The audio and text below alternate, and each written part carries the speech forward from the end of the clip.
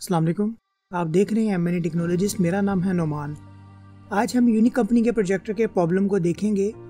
इस प्रोजेक्टर का model number U C forty six plus है।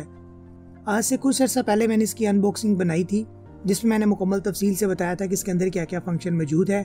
उसका लिंक आपको डिस्क्रिप्शन में मिल जाएगा। अब इस प्रोजेक्टर में प्रॉब्लम ये आया है, जो कि अक्सर ही यूनिक कंपनी के प्रोजेक्टर में मसले आते हैं कि कुछ अरसे चलने के बाद इनकी तस्वीर थोड़ी ख़राब हो जाती है। ख़राब से मुराद कि यहाँ तो स्क्रीन पे कोई निशान आ जाता है यहाँ फिर तस्वीर धुंधली हो जाती है। अब इस प्रोजेक्टर का भी यही मसला आ गया है कि तस्वीर हमारी जो है, वो थोड़ी धुंधली हो गई है, यानी कि तस्वीर क्लियर नहीं है। ये एल टाइप प्रोजेक्टर हैं, इनकी एलसीडी में प्रॉब्लम होता है। अब उस एलसीडी को हम कैसे साफ़ करेंगे? तो ये तरीकाकार आप देख लें। आपके सामने इस तरह का प्रोजेक्टर है, जिसमें तकरीबन बेसिक सारे ही फ़ंक्शन मौजूद हैं, यानी कि सारी पोर्ट्स और वाईफाई वगैरह भी इसके अंदर मौजूद है। तो आप देख देखें इस प्रोजेक्टर की बैक साइड पे कुछ स्क्रू लगे हैं तो मैं स्क्रू ड्राइवर की मदद से सारे स्क्रू ओपन कर लेता हूँ।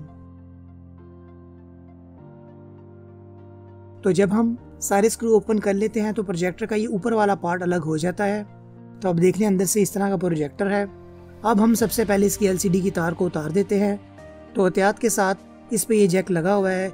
किसी भी स्क्रू ड्राइवर की मदद से हम ये ब्लैक वाला पार्ट पीछे करेंगे, उसके बाद ये तार आराम से बाहर आ जाएगी। तो इस तरह ही हमने एलसीडी की वायर बाहर निकाल ली है। उसके बाद जहाँ पे एलसीडी लगी है, हम उसको बाहर निकालते हैं, क्योंकि इसकी यकीनन एलसीडी में ही प्रॉब्लम होगा। तो इस पर भी देख लें कि आप कुछ स्क्रू लगे हुए हैं। तो हम पेचकस की मदद से इन पेज को भी ओपन कर देते हैं। पेज ओपन करने के बाद ये पार्ट इसका ओपन हो गया है। तो भी आप देख लें, ये प्रोजेक्टर अंदर से इस तरह का है। इस प्रोजेक्टर के बाहर बॉडी पे जो बटन लगे हुए हैं, उसकी वायर को हम उतार देते हैं। उसके बाद देखें आपके सामने जो मिरर है, इस मिरर पे भी थोड़ी डस्ट लगी हुई है।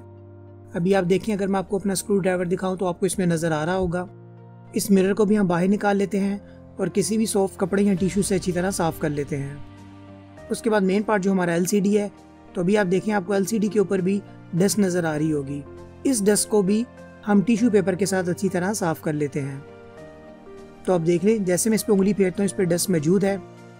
एक्चुअली इन प्रोजेक्टर में ऐसा होता है कि जहाँ पे ये एल सी डी की स्टोन और मिरर वगैरह लगा होता है, ये एक बॉक्स बना होता है। जब एल ई डी की रोशनी इस बॉक्स में आती है तो यहाँ पे हीट पैदा हो जाती है। वो हीट को बाहर निकालने के लिए इस पे एक पंखा लगा होता है, जो एक ब्लोर लगा होता है। जब ये ब्लोर चलता है तो हवा इसमें से सक करता रहता है और बाहर की हवा इस ब्लॉक के अंदर आती रहती है, जिसकी वजह से इसके अंदर डस्ट जमा होती रहती है। तो आप देख लें, बाकी की स्टोन का मिरर वगैरह साफ़ है और जो इसका अपना लेंस है, उसको भी अच्छी तरह हम साफ़ कर देते हैं और की स्टोन के मिरर को भी हम टिश्यू या कपड़े से अच्छी तरह साफ़ कर देते हैं। उसके बाद ये इसकी सप्लाई मौजूद है, काफ़ी हैवी किस्म की सप्लाई है इसकी, जिसमें से एक टू ट्वेंटी वोल्ट आ रहे हैं और बाकी इसमें दो जैक जा रहे हैं। एक जैक जो है इसमें रेड और ब्लैक वायर का, जिसमें मेरा थम है, ये इसकी एलईडी को जा रहा है और बाकी जो कलर हैं, वो इसके बोर्ड को जा रही हैं, जो कि इसके सारे फ़ंक्शन को कंट्रोल करता है। उसके बाद जो इसका बोर्ड है, उसको भी हम अच्छी तरह बुरश के साथ साफ़ कर देते हैं और ब्लोर के साथ अच्छी तरह इसके अंदर जो भी डस्ट वगैरह मौजूद है, सबको हम बाहर निकाल देते हैं। तो ये वाला पंखा है बेसिकली जिसकी वजह से इसके अंदर डस्ट जमा होती रहती है। और ये पंखा भी बहुत ज़रूरी है, अगर ये पंखा ना हो तो प्रोजेक्टर हमारा ख़राब हो जाता है ओवर हीट की वजह से। इस तरह मैंने ये सारा प्रोजेक्टर साफ़ कर दिया है। अब हम दोबारा वैसे ही चीज़ें लगा देते हैं, जैसे हमने उतारी थी। सबसे पहले ये मिरर है, इस मिरर को लगा देते हैं। उसके बाद हमारा मेन पार्ट जो कि एलसीडी है, इस एलसीडी को लगा देते हैं। क्योंकि यही हमारा मेन पार्ट है, इसके अंदर से ही रोशनी गुजरती है तो हमारी इमेज बनती है। तो एहतियात से हम एलसीडी भी लगा देते हैं। इसके बाद इसके ऊपर वाला कवर है इसको कवर को लगा के हम पेचकस के साथ ये सारे पेज लगा देते हैं। तो इस पे जो तीन पेज लगे हुए हैं, इन तीन पेज को भी पेचकस के साथ हम अच्छी तरह लगा देते हैं। पेज लगाने के बाद हम एलसीडी की वायर लगा देते हैं। एल की वायर लगाने का वही तरीका है कि ये ब्लैक वाला हिस्सा आपका थोड़ा बाहर हो। उसके बाद तार इस ब्लैक वाले पार्ट के नीचे से आप अंदर कर दें, यानी आपका ब्लैक पार्ट सारा छुप जाए। उसके बाद ऊपर वाले ब्लैक प्लास्टिक को किट की तरफ़ धकेल देंगे, हाथ से या किसी भी स्क्रू से, फिर ये केबल आपकी प्रॉपर कनेक्ट हो जाएगी, यानी कि यहाँ से लूज नहीं रहेगी। उसके बाद हम अपने पैनल का जैक जो है वो भी लगा देते हैं। तो ये वायर कनेक्शन हमारे मुकम्मल हो गए हैं। अब हम इसे फाइनल बंद करने से पहले एक दफ़ा ऑन करके देख लें क्या हमारी तारें प्रॉपर कनेक्ट होगी या नहीं। तो भी अब देखें लाइट इसकी ब्लिंक करी है।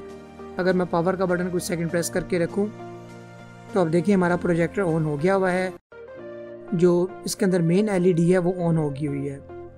अब हम इसकी पावर उतार के हम इसको मुकम्मल फिट कर देते हैं। तो ऊपर वाला पार्ट हम दोबारा इसको लगा के, जो नीचे स्क्रू लगे हुए हैं, सब स्क्रू को स्क्रू ड्राइवर की मदद से हम वापस लगा देते हैं। तो ये सारे स्क्रू को हमने लगा दिया है। आइए अब इस प्रोजेक्टर को ऑन करते हैं। तो अभी आप देखें कि हमारा प्रोजेक्टर ऑन हो गया हुआ है। अगर मैं आपको इसकी इमेज दिखाऊँ तो अभी आप देख लें कि हमारी तस्वीर बिल्कुल क्लियर हो चुकी हुई है। तो उम्मीद है फ्रेंड्स आपको समझ आ गया होगा कि यूनिक कंपनी के U C forty six plus projector की एलसीडी को आप किस तरह साफ़ कर सकते हैं। बाकी एलसीडी प्रोजेक्टर किस तरह काम करता है इमेज किस तरह बनाता है, इस पर मैं ऑलरेडी वीडियो बना चुका हूँ। उसका लिंक मैं डिस्क्रिप्शन में दे देता हूँ, आप देख लें। ये U C forty six plus है। इसमें ये प्रॉब्लम आया है। यू सी फोर्टी के अंदर भी ही प्रॉब्लम आया था और एक टी सिक्स प्रोजेक्टर उसके अंदर भी ये प्रॉब्लम आया था। उनके भी LCD को क्लीन करने के तरीके पे मैं वीडियो बना चुका हूँ। उनके लिंक भी आपको डिस्क्रिप्शन में मिल जाएँगे, आप वो भी देख लें। आने वाले वक्त में हम मज़ीद टेक्नोलॉजी पे बात करेंगे। इसके लिए आप मेरे चैनल को सब्सक्राइब करें। आपका देखने और सुनने का बहुत शुक्रिया।